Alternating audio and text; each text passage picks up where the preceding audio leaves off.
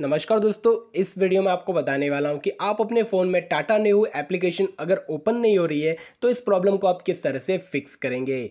तो गाइज़ अगर आपके फ़ोन के अंदर भी टाटा न्यू एप्लीकेशन नहीं चल रही है, ओपन नहीं हो रही है तो इस प्रॉब्लम को आप कैसे ठीक करेंगे? तो फिर इस वीडियो को देखते रहिए। तो गाइज़ सबसे पहले इसके लिए आपको करना क्या होगा? अगर आपके फ़ोन में टाटा न्यू एप्लीकेशन नहीं चल रही है तो सबसे पहले तो क्या गाइज़ क्या करना होगा कि आपको अपने फ़ोन के अंदर इंटरनेट कनेक्शन चेक कर लेना है। यहाँ पर आपको इंटरनेट कनेक्शन चेक कर लेना है। उसके बाद यहाँ पर आपको एक ऑप्शन मिलेगा एरोप्लेन मोड तो यहाँ पर एरोप्लेन मोड को यहाँ पर एक बार ऑन करके एक बार ऑफ़ कर लेना है। उसके बाद यहाँ पर आपको नेटवर्क मिल जाएगा। उसके बाद यहाँ पर एप्लीकेशन ओपन हो जाएगी। अगर उसके बाद भी एप्लीकेशन ओपन नहीं हो रही है तो गाइज़ आपको क्या करना होगा? अपने फ़ोन के प्ले स्टोर के अंदर जाना है। प्ले स्टोर में आने के बाद यहाँ पर टाटा न्यू एप्लीकेशन को आपको जो है अपडेट कर लेना गाइज़ कई बार क्या होता है कि एप्लीकेशन के अंदर अपडेट आ जाता है, उसके बाद भी अगर एप्लीकेशन को हम अपडेट नहीं करते तो यहाँ पर ओपन की प्रॉब्लम आ जाती है।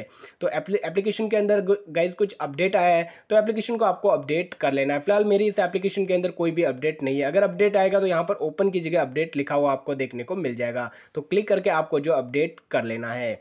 उसके बाद भी अगर आपकी ये प्रॉब्लम सॉल्व नहीं होती है तो गाइज़ क्या करना होगा, आपको जो अपने फ़ोन की सेटिंग के अंदर जाना है फ़ोन की सेटिंग के अंदर आने के बाद गाइज़ करना क्या होगा? यहाँ पर आपको स्क्रॉल करना है और नीचे की साइड में एक ऑप्शन मिलेगा ऐप्स वाला। तो देख तो यहाँ पर आपको एक ऐप्स वाला ऑप्शन आपको देखने को मिल जाएगा। तो सिंपली गाइज़ क्या करना होगा? ऐप्स वाले ऑप्शन पर आपको क्लिक करना है और इसके ऊपर क्लिक करने के बाद गाइज़ यहाँ पर आपको एक ऑप्शन मिलेगा मैनेज ऐप्स वाला। तो सिंपली गाइज़ यहाँ पर आपको मैनेज ऐप्स के ऊपर क्लिक कर लेना है। और गैस जैसे ही आप मैनेज ऐप्स के ऊपर क्लिक करेंगे, उसके बाद यहाँ पर जितनी भी आपके फ़ोन के अंदर एप्लीकेशन रहेगी, सभी एप्लीकेशन यहाँ पर आपके सामने आ जाएगी। तो अब गैस यहाँ पर करना क्या होगा? यहाँ पर टाटा न्यू एप्लीकेशन को आपको ओपन कर लेना है। तो यहाँ पर ऊपर के साइड में देख सकते हो, जो सर्च वाला ऑप्शन है, इसके ऊपर क्लिक करके आप सर्च भी कर सकते हो और यहाँ पर एप्लीकेशन इस लिस्ट के अंदर से भी आप जो है निकाल सकते हो। तो चलिए गाइज़ मैं यहाँ पर एप्लीकेशन को निकाल देता हूँ। तो गाइज़ इस लिस्ट के अंदर जो है, सबसे नीचे की साइड में आपको जो एप्लीकेशन देखने को मिल जाएगी। जो भी टाटा न्यू की एप्लीकेशन रहती है तो देख सकते हो यहाँ पर टाटा न्यू की एप्लीकेशन आ चुकी है। अब गाइज़ हम इसके ऊपर क्लिक करेंगे और गाइज़ क्लिक करने के बाद यहाँ पर गाइज़ आपको करना क्या होगा?